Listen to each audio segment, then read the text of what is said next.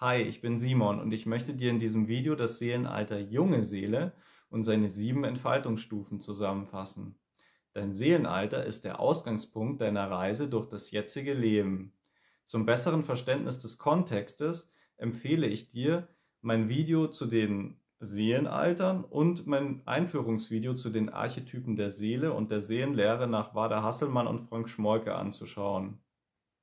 Dort habe ich ja auch schon diese große Tabelle mit den 49 Archetypen der Seele erklärt und auf der untersten Zeile findest du dann die Seelenalter. Das Seelenalter der jungen Seele ist das dritte Seelenalter. Mir als ältere Seele hat es viel gebracht, mich mit allen Seelenalterstufen auseinanderzusetzen. Gerade die Reflexion der Jungseelenentwicklung hat mir Einblick und Klarheit in die seelischen Abläufe gegeben. Ich konnte mir ein paar Themen aus meiner jetzigen Perspektive nochmal veranschaulichen. Im Seelenalter der jungen Seele werden, wie man in der Tabelle sehen kann, sieben Stufen schrittweise abgeschlossen. Jede Stufe hat ein spezielles Thema, mit dem sich die Seele ausführlich in den circa zwei bis fünf Leben auf der Stufe auseinandersetzt. Die junge Seele erforscht die sieben Themen. Erstens, Ich und Körper sind identisch. Zweitens, ich gestalte meine Welt, wie sie mir gefällt. Drittens, Freunde werden Feinde, Feinde werden Freunde. Viertens, Verzicht auf Rache erzeugt Gerechtigkeit. Fünftens, ich nehme mein Leben in die Hand. Sechstens, mein Verhalten stiftet Lebenssinn. Und siebtens, ich trage Verantwortung. Bevor ich die sieben Entfaltungsstufen der jungen Seele näher erläutere, möchte ich zunächst noch ein paar allgemeine Fakten zu diesem Seelenalter ausführen. Die Hauptthemen der jungen Seele sind Kraft, Macht und Eroberung. Der Zyklus der jungen Seele ist von der kriegerischen Grundenergie 3 geprägt das bewirkt, dass junge Seelen wichtige Funktionen in der Gesellschaft tragen. Sie sind tatkräftig, ermüden nicht leicht und haben einen optimistischen Kern. Die junge Seele steht metaphorisch für die späte Jugend und das frühe Erwachsenenalter eines Menschen. Sie erkundet, was benötigt wird, um sich selbst und andere zu kontrollieren und strebt immer mehr nach Autonomie Dazu begibt sie sich auf Abenteuer und nimmt Gefahren und Scheitern in Kauf. Besonders der Anfang des jungen Seelenalters ist von kindlicher Naivität geprägt. Der jungen Seele ist das Erlangen von Erfolg, Macht und Reichtum sehr wichtig. Wenn sie das erreicht hat, ignoriert sie meist diejenigen, denen es schlechter geht, und erklärt, sie seien selbst schuld Sie ist auf Bestätigung im Außen angewiesen, vergleicht sich ständig mit anderen und strebt nach Aufstieg und Karriere. Sie will eigentlich keine Schuld auf sich laden, geht aber in diesem Zyklus die meisten karmischen Verbindungen ein und kommt mit Egoismus, Fanatismus, Unrecht und Grausamkeit in Berührung die junge Seele erfährt das erste Mal bewusst Liebe und Lieblosigkeit und erkennt, dass ihre Handlungen gute und schlechte Konsequenzen haben. Deswegen ist der jungen Seele Ethik, Moral, Schuld, Strafe und Sünde sehr wichtig und sie bildet ein Wertesystem heraus. Dabei kategoriert sie ihre Mitmenschen in Freunde und Feinde. Zum ersten Mal stellt sie sich Fragen darüber, wer sie eigentlich ist. Die junge Seele neigt eher zu monotheistischen Religionen. Aus religiöser Sicht kommt es häufig vor, dass sie strenge Gesetze, Rituale und religiöse Prinzipien für wichtig hält und glaubt, im Jenseits bekommt sie alles, was sie möchte. In der Sexualität kann es sein, dass die junge Seele aus Lust an der Eroberung viele sexuellen Kontakte und Partner hat der Anteil der jungen Seelen an der Weltbevölkerung Stand 1993 beträgt ca. 40 Prozent, in Deutschland ebenfalls etwa 40 Prozent. Regionen mit einem hohen Anteil an jungen Seelen sind Nordamerika, Europa, Australien, China, Thailand und Japan. Nun gehe ich die sieben Entfaltungsaufgaben der jungen Seele schrittweise durch Die erste Stufe auf dem Seelenalter der jungen Seele hat die Entfaltungsaufgabe Ich und Körper sind identisch. Diese Stufe nennen wir abgekürzt Jung 1. Das Motto von Jung 1 ist Ich sammle neuen Mut. Wenn dich die Bedeutung der einzelnen Mottos der Seelenalterstufen näher interessieren, empfehle ich dir mein Video, in dem ich die Seelenalter zusammenfasse. Jung 1 ist von den Energien 3 und 1 geprägt. Das kommt dadurch zustande, dass 3 die Energie des Seelenalters der jungen Seele und 1 die Energie der ersten Stufe ist das bedeutet, dass Menschen mit dem Seelenalter Jung 1 auf gewisse Art und Weise ebenfalls von den Energien 3 und 1 geprägt sind. Die heilende und unterstützende Energie 1 äußert sich in dieser Stufe dadurch, dass die jungen Seelen häufig in Berufen zu finden sind, in denen es um Pflege, Therapie und Heilung geht. Eine Seele auf Jung 1 erkennt, dass ihr Ich durch bestimmte Einflussfaktoren verändert werden kann. Zudem nimmt sie jetzt wahr, dass ihr Ich sich von dem Ich anderer Menschen unterscheidet. Infolge dieser Wahrnehmung beginnt sie, sich von anderen abzugrenzen und ihr eigenes Ich herauszukristallisieren. Dabei steht ihr Ich im engen Zusammenhang zu ihrem Körper, und sie sieht ihr Ich quasi als ihren Körper an. Eine Seele will vermutlich auf Jung 1 folgende Erfahrungen machen: Sie möchte in schöne und mangelhafte Körper geboren werden. Sie möchte erleben, wie ihr Körper geschädigt wird. Sie will ihn selbst durch Chemikalien und Drogen schädigen. Sie möchte die Alterungsprozesse ihres Körpers beobachten und gegen den Tod kämpfen. Sie möchte ihre körperlichen Mängel ausgleichen und sich selbst optimieren zur Selbstoptimierung benutzt sie beispielsweise Perücken, Schmuck, Zahnschliff, Schönheitsoperationen und Fitnessübungen. Wenn ihr Körper auf irgendeine Weise beeinträchtigt wird, leidet sie unter starken Minderwertigkeitsgefühlen. Ein Mensch auf Jung 1 wird verächtlich gegenüber Menschen reagieren, die sich gehen lassen und nichts für ihre Schönheit und Gesundheit tun er wird die körperliche Beeinträchtigung anderer Menschen als Strafe Gottes oder Karma beurteilen. Seine Beziehungen zeichnen sich dadurch aus, dass er mit Hilfe seiner körperlichen Attraktivität einen Partner erobert und halten möchte. Einen Kulminationspunkt erreicht die Seele auf Jung 1, wenn sie in ausreichendem Maße ihr Ich mit Hilfe ihres Körpers gestaltet herausgebildet und erfahren hat. Der Kulminationspunkt bezeichnet den Endpunkt der Entwicklung, die sich die Seele auf ihrer aktuellen Seelenalterstufe vorgenommen hat. Zwei Beispiele für bekannte Persönlichkeiten auf Jung 1 sind Paris Hilton und Roald Amundsen. Die zweite Stufe auf dem Seelenalter der jungen Seele hat die Entfaltungsaufgabe, ich gestalte meine Welt, wie es mir gefällt. Das Motto von Jung 2 ist Ich suche Stabilität. Menschen mit dem Seelenalter Jung 2 sind von den Energien 3 und 2 geprägt. Die Energie 2 ist die Künstlerenergie und somit geht es hier um Gestaltung. Die junge Seele begreift, dass sie selbst von der Welt abhängig ist und umgekehrt die Welt abhängig von ihr. Sie erkennt, dass sie ihre Umwelt verändern und umgestalten kann, und zwar nicht nur ihr direktes Umfeld, sondern auch noch weit darüber hinaus. Diese Erkenntnis wird sogleich in die Tat umgesetzt, und der Mensch auf Jung 2 beginnt mit der Veränderung seiner Welt. Beispielsweise könnte er neue Methoden erfinden, Apparate und Maschinen entwerfen, eine neuartige Medizin testen, eine App programmieren, eine Firma gründen und neue Orte entdecken. Er könnte versuchen, mit seiner politischen Partei in die Regierung zu kommen.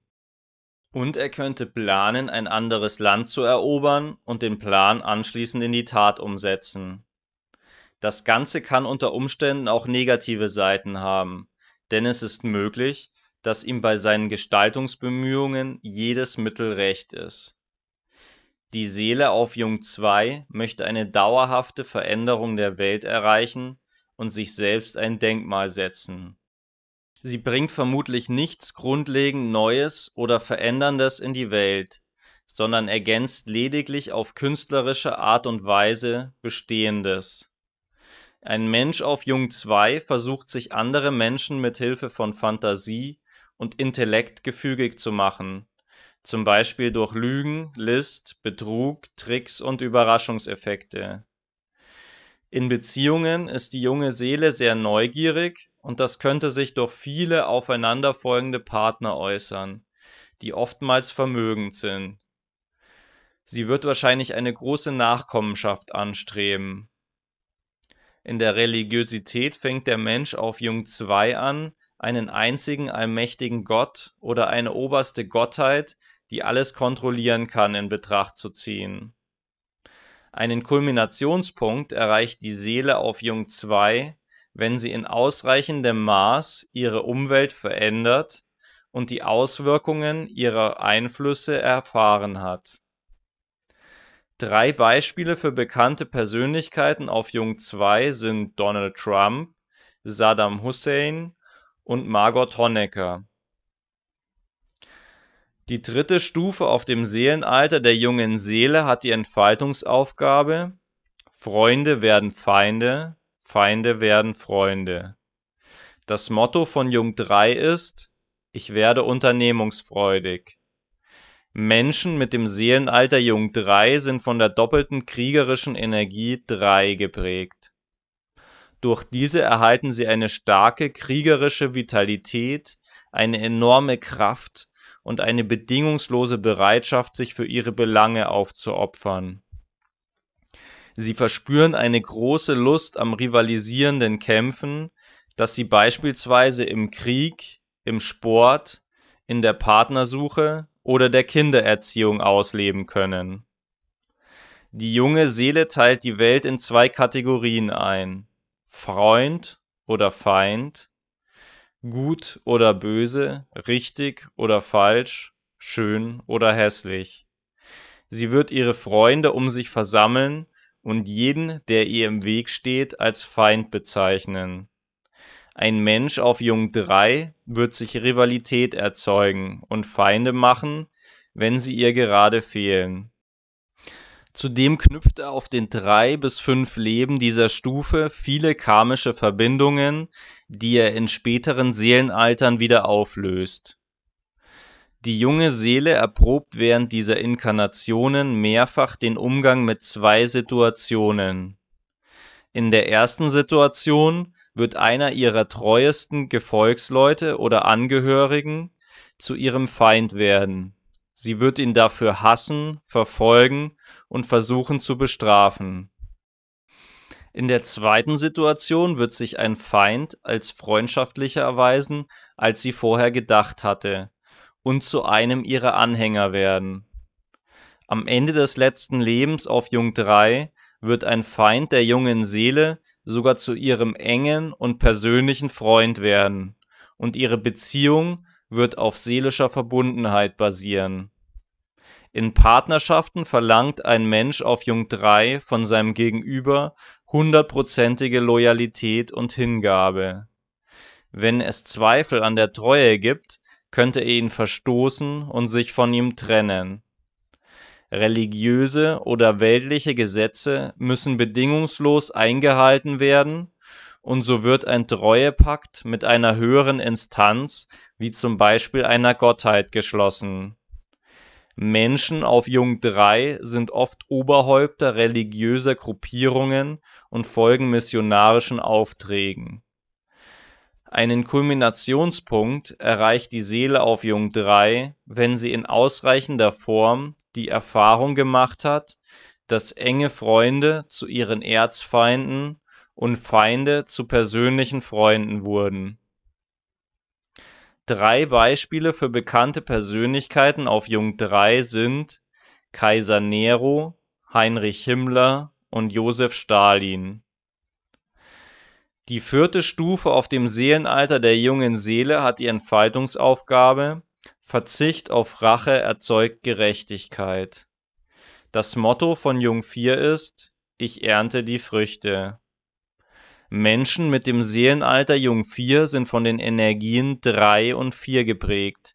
Sie möchten in dieser Stufe eine neuartige Form der Gerechtigkeit kennenlernen, die nicht auf der Ausübung von Rache basiert. Die Gelehrtenenergie 4 verwendet sie, um zu reflektieren, dass die Einteilung in Freund und Feind aus vorherigen Leben relativiert werden muss. Andere Menschen sollten auch ihre Meinung ändern dürfen und die Seiten wechseln können. Die junge Seele lernt, dass Rache oftmals Rachereaktionen auslöst, dadurch eine Gewaltspirale entstehen kann und dass dem Erreichen ihrer persönlichen Ziele im Wege steht. Sie übt sich in Selbstbeherrschung und Disziplin. Das Gelernte kann sie im späteren Verlauf ihres Lebens als Lehrer weitergeben, beispielsweise als Sporttrainerin und Militärausbilder. Ein Mensch auf Jung 4 beginnt seinem Gegner Respekt zu zollen und ihn als Feind oder Rivale zu würdigen. Traditionen und Erfahrungen anderer werden für seinen Lernprozess zu Hilfe genommen, erprobt und eingesetzt. In Beziehungen tendiert er zu Stabilität und langfristigen, monogamen Partnerschaften. Zum Thema Religiosität möchte ich die Quelle direkt zitieren. Die junge Seele auf der vierten Stufe beginnt wider Willen Abschied zu nehmen von einem Gottesbild, das allwissend und omnipotent ist, von einer Gottheit, die zuvor als Schutzmacht empfunden wurde, weil man einen Pakt mit ihr geschlossen hatte. Zitat Ende. Menschen auf Jung 4 sind somit mehr und mehr auf sich allein gestellt und neigen dazu, strenge religiöse Gesetze und Rituale zu hinterfragen. Einen Kulminationspunkt erreicht die Seele auf Jung 4, wenn sie gelernt hat, die Rache nicht mehr selbst durchführen zu müssen und darauf vertraut, dass eine höhere Instanz die Vergeltung als Pflichtaufgabe übernimmt. Drei Beispiele für bekannte Persönlichkeiten auf Jung 4 sind Captain James Cook, Kaiserin Maria Theresia von Österreich Königin Victoria von England. Die fünfte Stufe auf dem Seelenalter der jungen Seele hat die Entfaltungsaufgabe Ich nehme mein Leben in die Hand. Das Motto von Jung 5 ist Ich werde unruhig. Menschen mit dem Seelenalter Jung 5 sind von den Energien 3 und 5 geprägt. Sie entwickeln ein Vertrauen in ihre Kräfte und einen inneren Drang, die ihnen dazu verhelfen, sich aus ihrer Herkunftsgemeinschaft und den damit verbundenen Vorschriften zu lösen und ihren eigenen Weg einzuschlagen.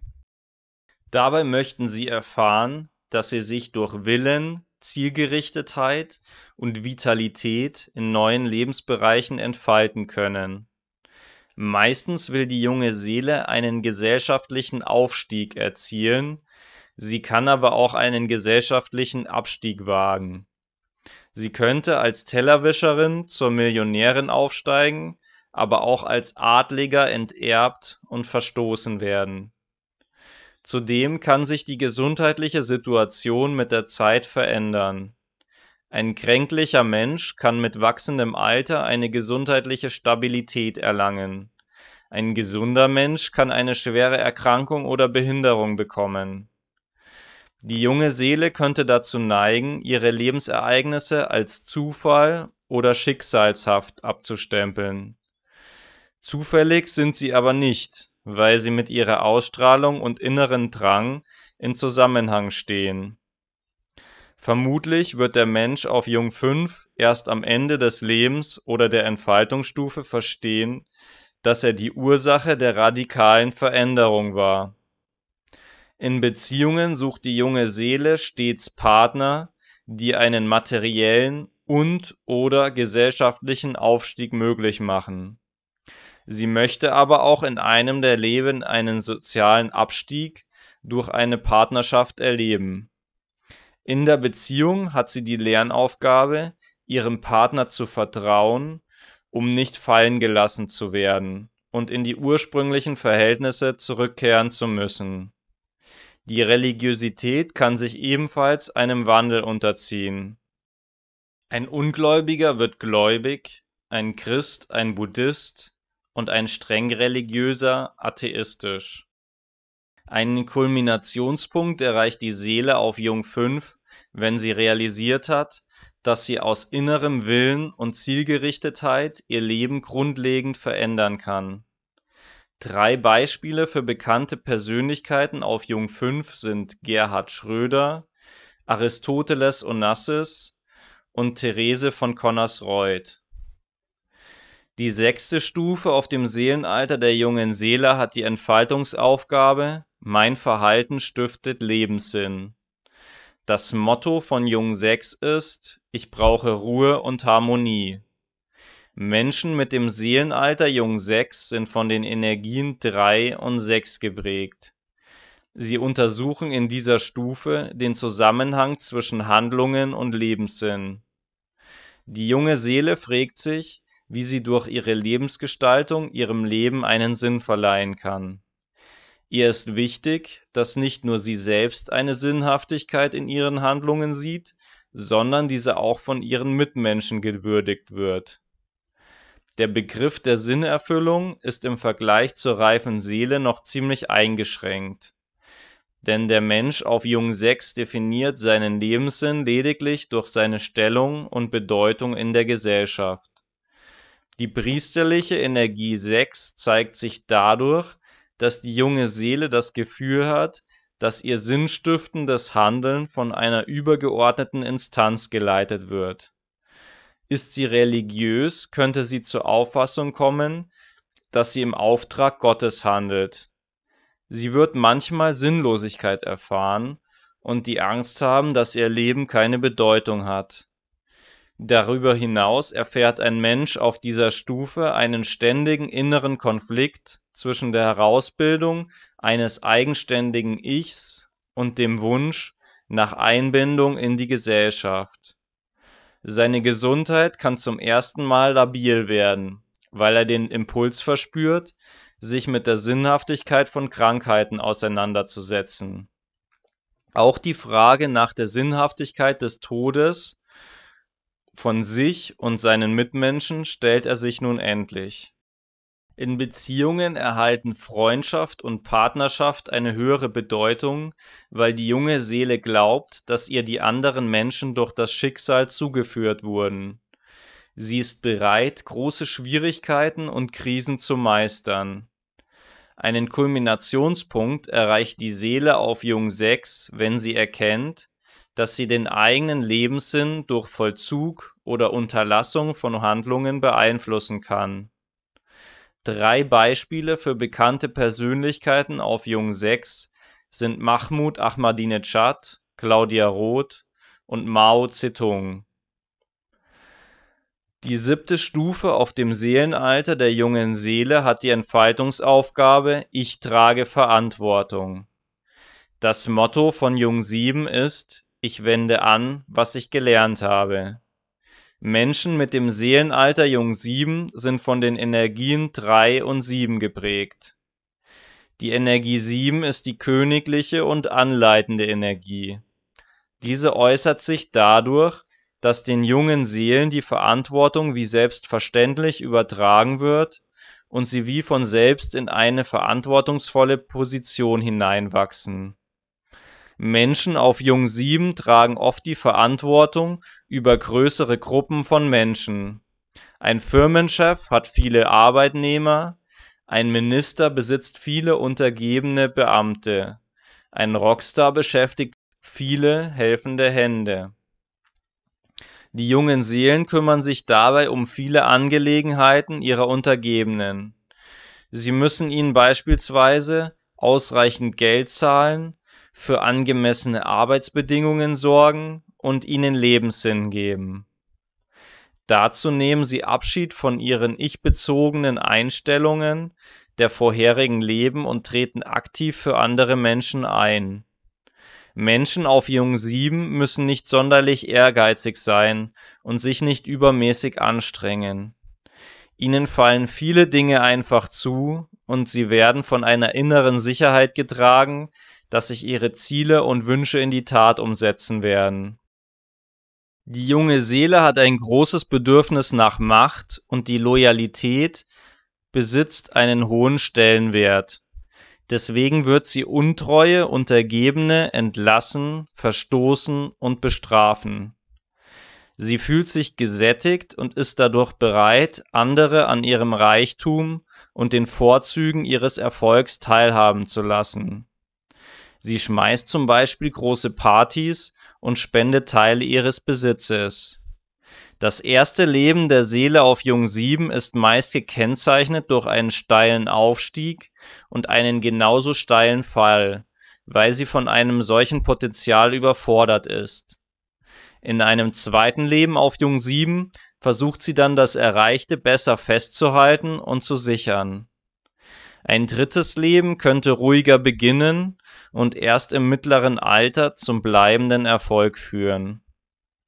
Das abschließende Leben glänzt mit einem durchgehenden Erfolg von Anfang bis Ende. Nicht selten gehen solche Persönlichkeiten in die Geschichtsbücher ein. In Beziehungen suchen die jungen Seelen Partner, die zum einen gerne in ihrem Schatten stehen und zum anderen ihr Strahlen fördern. Da so jemand schwer zu finden ist, spricht die Quelle von der einzigen wahren Problematik von Jung 7. In der Religiosität und Spiritualität steht die junge Seele im vollständigen Einklang zwischen dem eigenen und dem göttlichen Willen, sofern sie denn religiös ist.